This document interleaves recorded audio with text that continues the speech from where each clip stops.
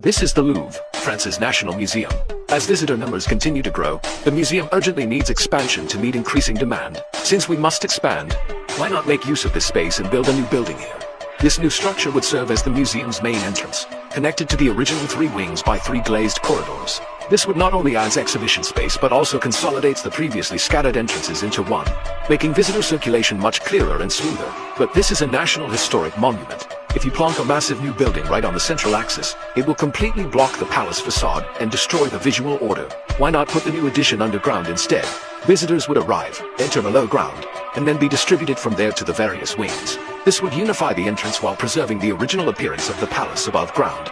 Burying the expansion underground feels too understated, hardly befitting the grandeur of a national museum. If we build a more monumental entrance pavilion, we're back to the original problem of blocking the view. So we strictly follow the existing axis to determine the entrance location. Then, at that precise spot, we raise a volume to clearly mark the entrance. If the volume is too big, it will block the palace behind it. So we cut away the upper part, tapering it inward on all sides to form a pyramid. Wider at the base and narrower at the top. To make it even lighter, we use glass as the primary material.